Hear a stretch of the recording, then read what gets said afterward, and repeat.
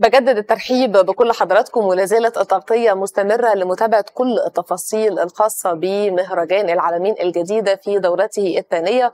والحقيقة أنه منذ فعاليات الافتتاح شفنا يعني النجاح الكبير في الدورة الثانية والافتتاح بينم عن مفاجآت كتيرة جدا السنة دي عندنا في مهرجان العالمين الجديدة. عندنا أكتر من 20 فعالية فنية وثقافية وعندنا كمان المسابقات الرياضية.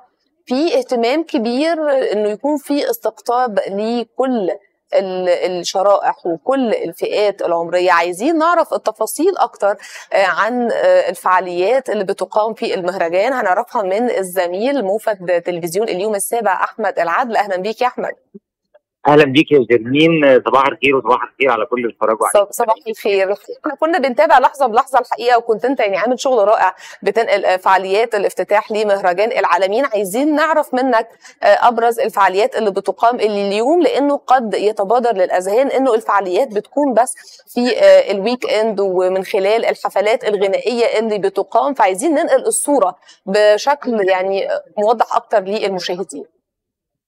متشكر جدا يا جرمين على كلامك. الحلو يعني إحنا كمان الأجواء وال mood في مدينة العالمين هي اللي مساعدانا إن إحنا نعمل شغل جميل. يعني م. إحنا شايفين المكان قدامنا جميل ومساعد والناس كلها مبسوطة. فإحنا بالتبعية بنعمل شغل حلو علشان نحاول نعمل الصورة بالواقع. أنت بسؤالك النهارده عن الأحداث الحقيقيه بتاعنا مش بس في لا المهرجان شغال كل يوم لغاية 30 أغسطس إن شاء الله.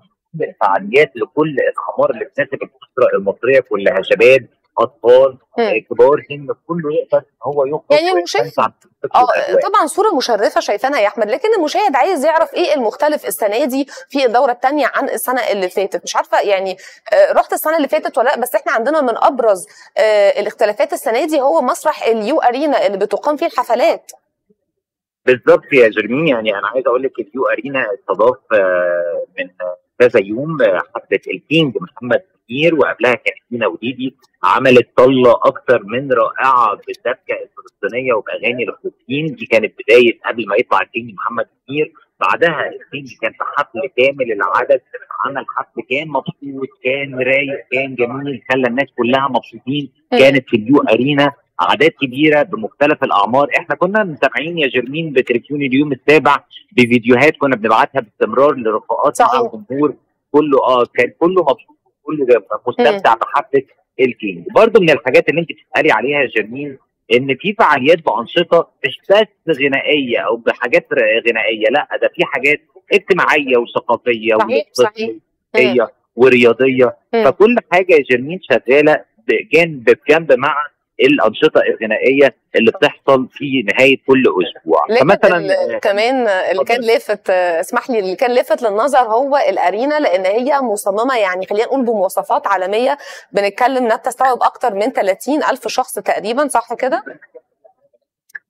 الصوت يا زرمين مش واضح الحقيقة. معلش ما كنت بكلمك عن إن الأرينا مصممة بأحدث يعني التصاميم والمواصفات العالمية بتستوعب أعداد كبيرة وده يمكن اللي شفناه في حفلة الكينج وعلشان كده كانت الصورة مختلفة السنة دي عن ده, ده حقيقي. ده حقيقي يا جميل وكمان التنظيم كان أكتر من رائع. البوابات منظمة جدا الدخول سلس وسهل للناس كلها تقدر تدخل من البوابه اللي عارفاها يعني كل م. واحد داخل من البوابه عارف هو داخل منين وهيتحرك إزاي داخل بسلاسة وسهولة ويسر stage كبيرة جدا المسرح كبير كل واقف مرتاح مفيش زحام مفيش أي حاجة. فكل واقف بيسمع وبيتبسط بأجواء المهرجان وأجواء مدينة العلمين الجديدة. فال mood حلو والأجواء جميلة يا جيف. طبعا. أنا برضو النقطة اللي حابب إن أنا أوضحها يا جميل معلش أنا آسف. وهي نقطة الفعاليات اللي جنب بجنب مع حفلات الغنائية ليكي. علشان الناس ما تفهمش إن مهرجان العلمين ده مهرجان غنائي بس لا. في فعاليات كتيرة بتحصل. ست مهرجانات تقريبا بيندرجوا تحت مهرجان العلمين. بالظبط. يعني مثلا في أنشطة رياضية بتحصل امبارح كان في بطولة كرة قدم كان في أول امبارح كان في بطولة كرة طايرة طايرة شاطئية.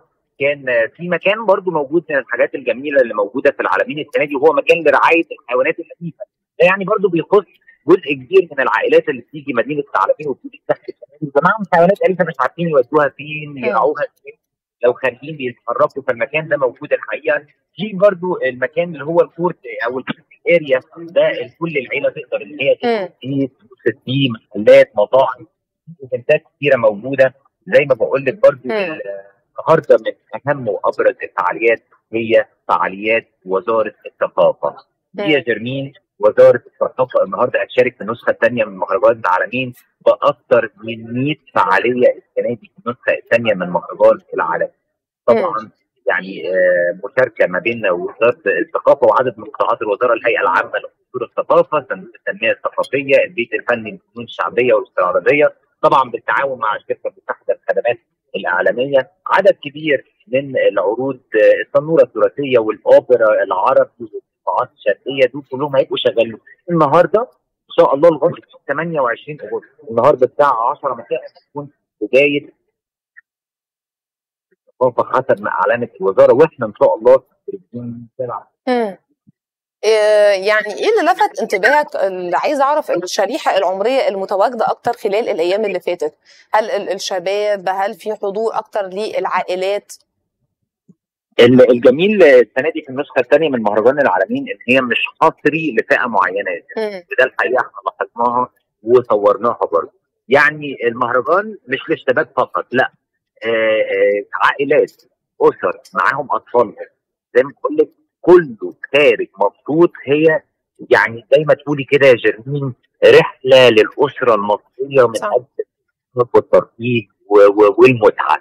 ده ببساطة لو حطينا عنوان كده لحالة مهرجان العالمين في نسخته الثانية السنة دي حاله من الانبساط للأسرة المصرية بمختلف اعمارها صحيح. طبعا اللي إحنا شفناه خلال الأيام اللي فاتت يعني صورة مشرفة وأكتر من رائعة. طيب خليني أسألك عن أبرز الفعاليات اللي بتقام بقى في الأسبوع آه هذا الأسبوع الأول وال weekend الثاني عندنا طبعا آه حفلة القيصر الفنان طبعا الكبير قاسم الساهر هتكون يوم الخميس المقبل. وعندنا كمان أيقونة الغناء العربي الفنانة الكبيرة السيدة ماجده الرومي يوم الجمعة المقبلة. وأوركسترا طبعا بقيادة الموسيقار العالمي نادر عباسي كلمنا أكتر كمان عن فعاليات هذا الأسبوع وحفلات ال weekend. آه أنت كده يعني كل تفاصيل الفصل حرقت نص الإجابة.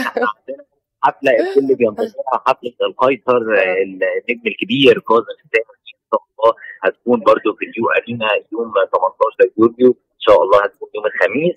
آه كل التكت مختلف بهاتها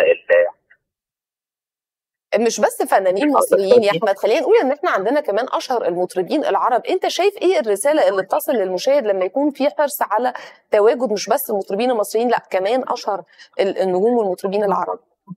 المهرجان بقى مهرجان دولي يا جرمين يعني ما بقاش مهرجان بس مقتصر على الجمهور المصري فقط لأ بقى في جمهور من مختلف دول الوطن العربي بقوا موجودين في المهرجان وبيحضروا. فالمهرجان بقى شعاره إن إحنا عايزين مهرجان يرضي جميع الاذواق ومختلف الجنسيات.